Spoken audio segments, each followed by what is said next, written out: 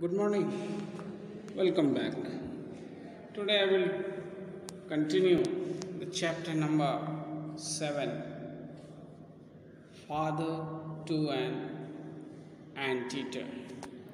In the last video, I have discussed the page number 80 and today I will continue from page number 81. The line from where I am going to start is She liked to lie across the back of my neck, her long nose hanging down one side of me and her long tail down the other side.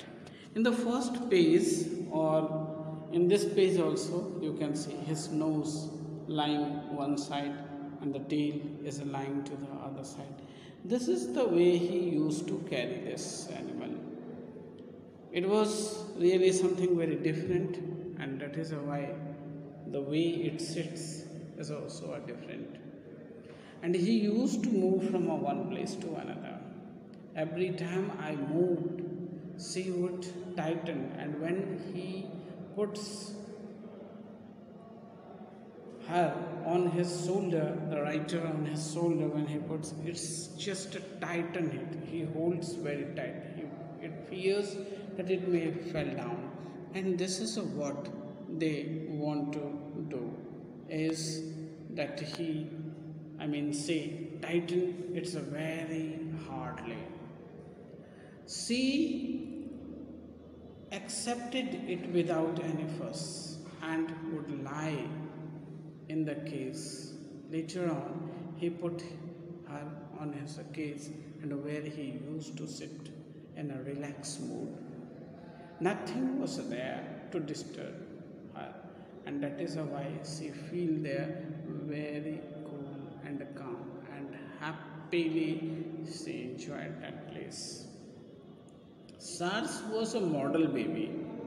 Between feet, she lay quite on her sack, yawning and showing a strictly pink gray tongue. The color of the tongue was a pink, as the human being have or the other animal have. The tongue you will see generally the others animal. The color of the tongue is a what? It is pink gray, and the same way this also have at a feeding time, she would suck the, the teat on her bottle. The bottle which is used by the baby, the same bottle was used by the writer also to feed this sow. And it was a little bit a very difficult task for them to manage such a type of a thing. But then also they enjoy them. When he left Paraguay Sarah slept peaceful. They are traveling in a flight and there she relaxed. I mean, you will have to say she was sleeping and swooning. I mean, it was in a deep sleep. And on that moment, the bubbles from her sticky saliva nose comes through. It was. It is a very untidy thing to explain, and but the writer enjoyed that. On arriving in Buenos Aires, our first thought was to give Sarah a treat.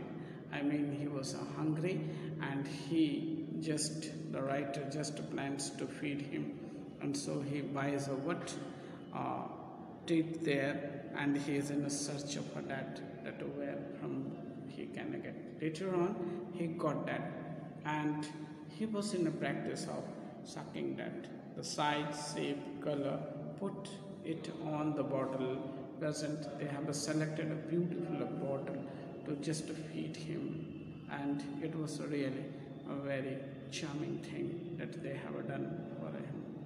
She clung to it every every after months after her travel in England. She would not be parted from it, and this way they have just enjoyed with this animal. Thank you.